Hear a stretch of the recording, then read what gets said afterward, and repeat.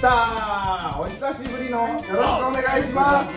はーい。杉田ですいや憧れのいやっていうふうに今言ってくれましたけどえなんか昔から知ってくれてる感じ？知ってますよ。あ本当ですか？ええもう地元のヒーローですから、こんなそんな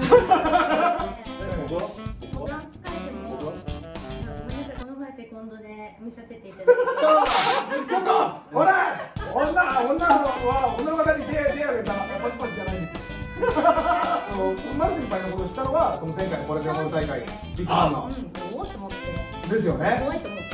そうその時に声をかけてもらってはい。で写真を撮らせてもらいました、はい。で乗っけてくださいねって言ったじゃないですか、はい。はいで乗っけてくれました、はい。で自分があ「乗っけてくれてありがとうございます」って言って、はい。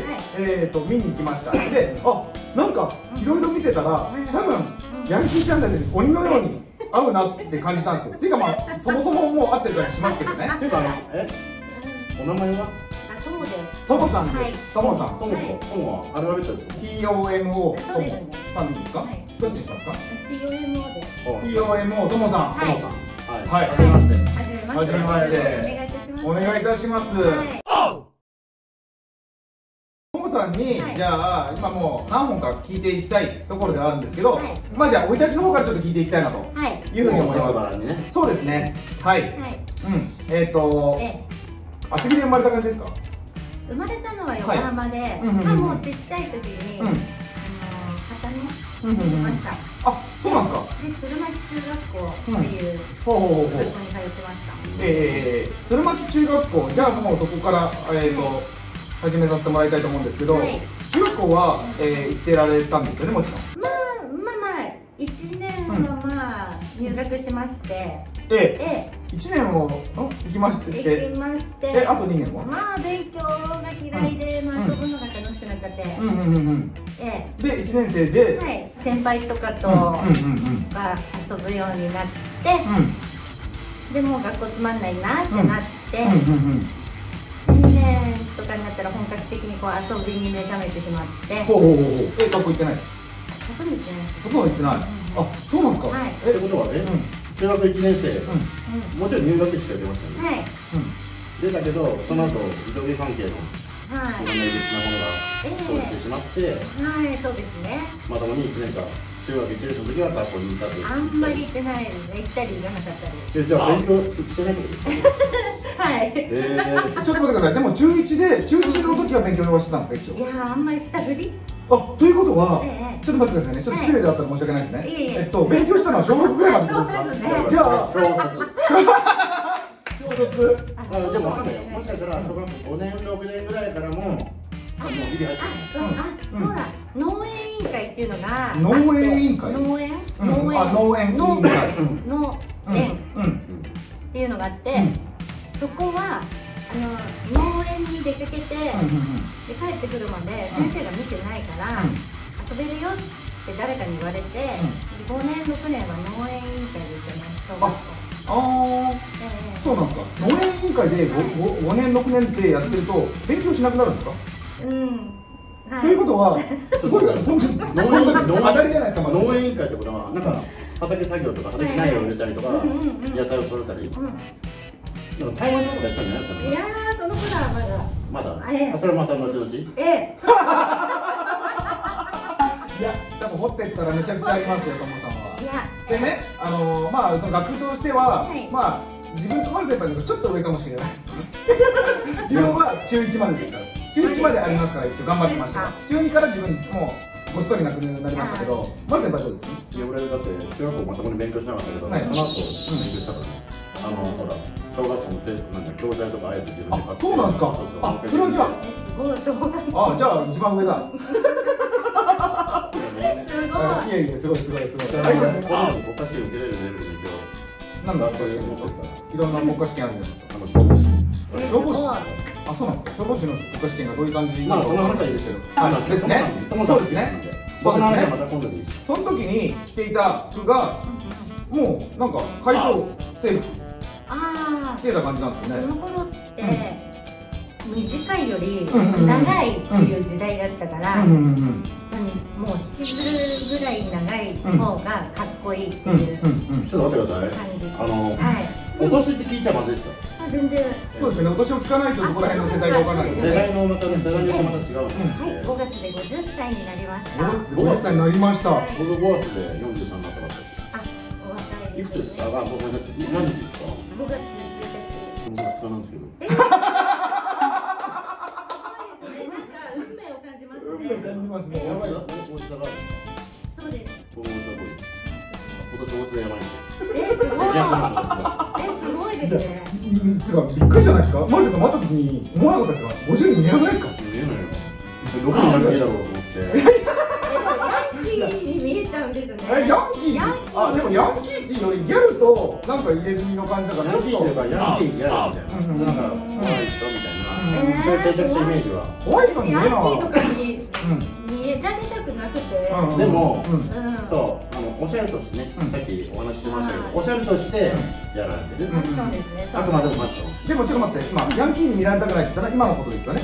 昔はだって今もう見られたくて見られたくて。あそういうことねやっぱり。ええ。ロースカですもんね言うたらさっきのがうんそうだよ。だって今50でしょ？うん。え50ってことはその当時の世代っていうのは短い人ってそんなにいなかった。まあいやいやいなかったと思いますうんわかんないわかんないけどロンスカにうん例えばタンブレタンブレあそうなんだロンス男の人は長蘭とかね長蘭とかうんもうだからスケバンですよああそうですよ本当にその感じだと思本います場の版って書いてスケバンそううんだからまさにヤンキーチャンネルのヤンキーだったわけじゃないですか。でも今はそういうふうにヤンキーに見られたい感じではない。ないです。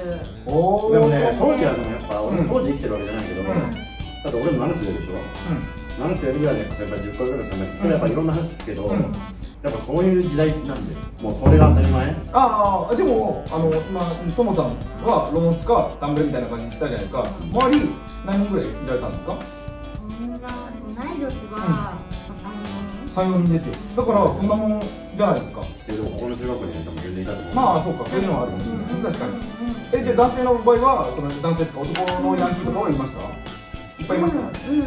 やっぱり34人？三四人。同じうんうんうん学年はうんうん。あじゃあ女性男性で、えっと、全部で78人ぐらいっていう感覚で。ですね。あその一つの中学校で。そうそうそうそう。そうの学年でですね。うんうん今中1までそこのを着ていた。でその時になんか、うん。えっとなんかちょっと悪さとか手はまだしてない？そこら辺は。ヤシーナとか。え？中1で？先輩とかに中1で？うん。中1ぐらいだから小5小5とか小いややってないやってない。小5小6やってないって。中1でやり始めたってまああんまり変わってないけどそれだとすると。でも完全にエリートじゃエリートじゃないですか。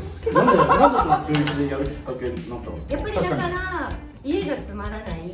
寂しいえだってあちょっと待ってあの家族構成聞いていいですか？この子って親は離婚してて、弟がいたんですけど、親は離婚して、お父さんとお母さんどっちかがにはい、お母さん。お母さん。はい。はい。で、そういう夜夜とかも、先輩とか友達とかといるのが楽しくて、その方がシンナー持ってた感じなんですか？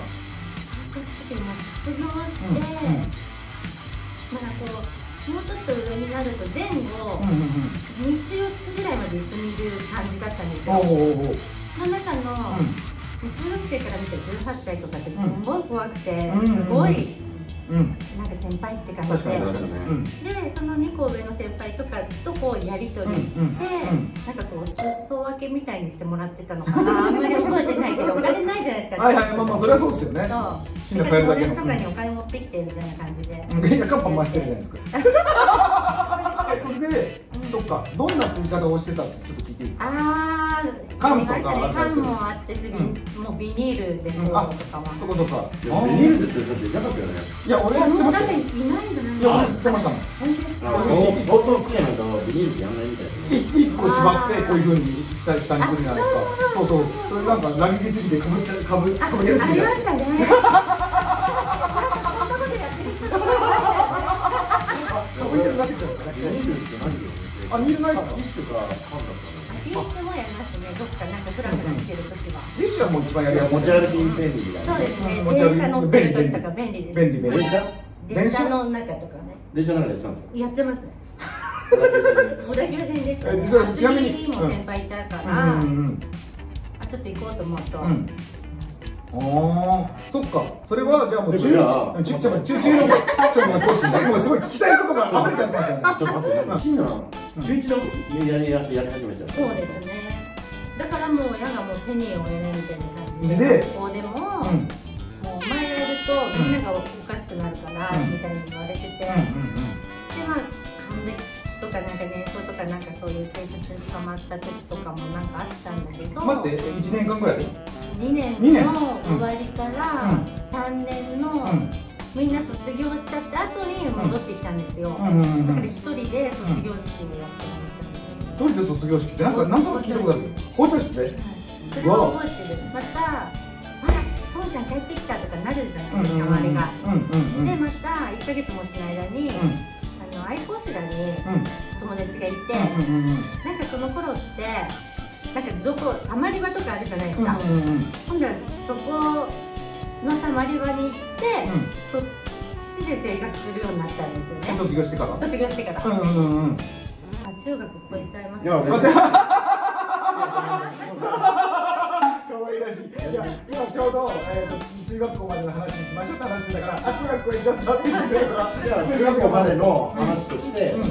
ここまでの話聞いてかなりざっくりだったけど、うん。なん。か来てことありますよあとなん。なん。なん。か悪いことあと何やったのかなってなん。か多分いろいろやってる気がするん。ですよわかん。ないそれをだからわかん。ないもう別になん。か聞かせてほしいだけなん。でそうあ別にあのなん。か NG だったら全然そう大丈夫とですしカツアゲなお金が欲しかったからええ喧嘩？あだからあえで待って。金を取るみたいな。喧嘩して金を取るってことですか？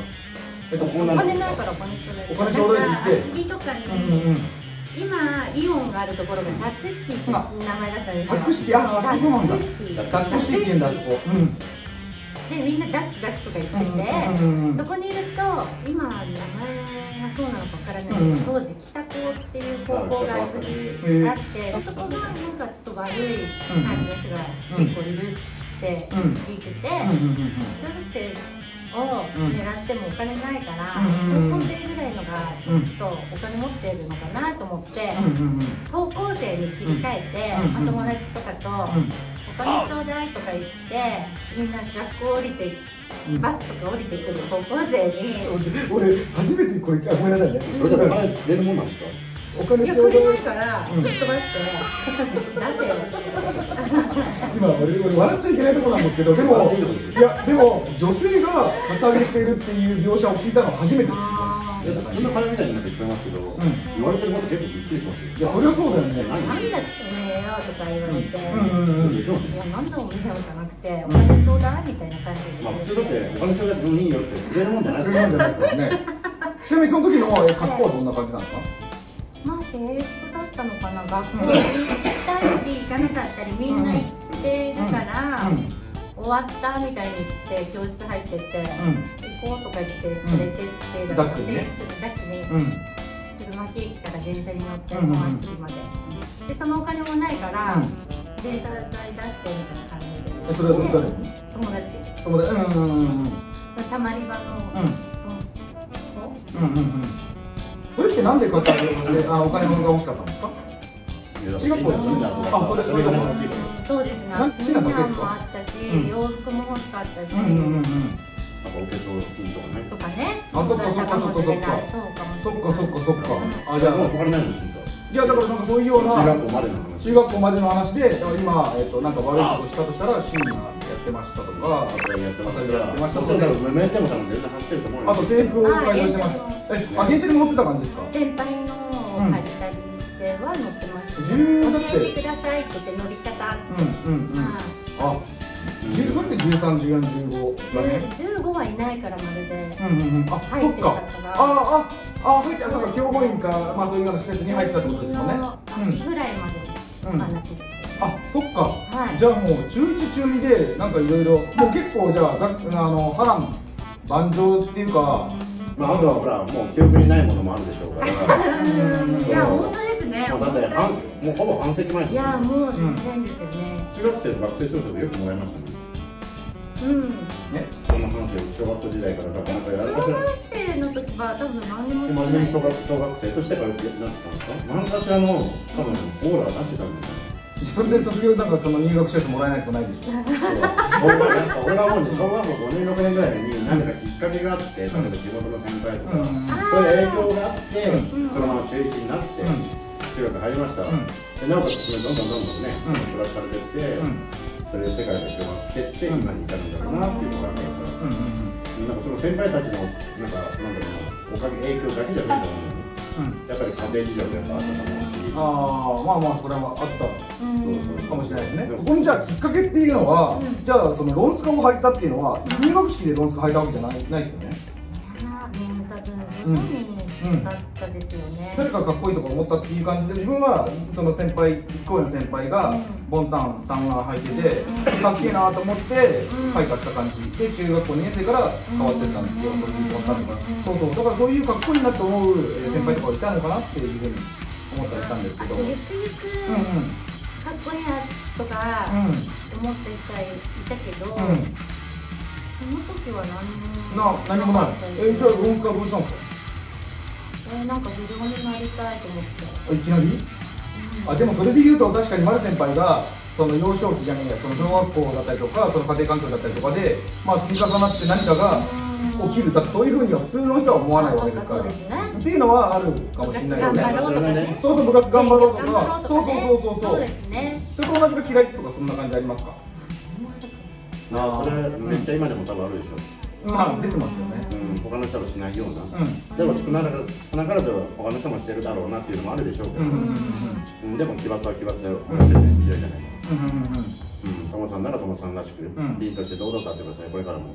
ありがとうございます。マジでですね変なまとめ方ですか何がいきなりまとめたんですか？え、これで終わりじゃなかったっけ？あ、そうですね。これ、これで、あ、ちょ、ちょうどですね。で、今の、じゃあ、生い立ちまでの感じのことを聞かせてもらいました。はでは、ボリューム2からは、はいえっと、どう、何を聞かせてもらいましょうか、まずやっぱり。中学卒業してから、はい今だから10代の終わりからですよ。うん。うん。